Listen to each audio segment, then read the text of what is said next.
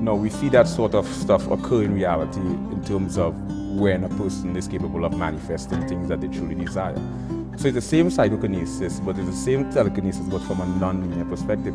Telepathy is also a real actual phenomenon, but it's sort of non-linear and unorthodox and not in the linear, the linear media depiction.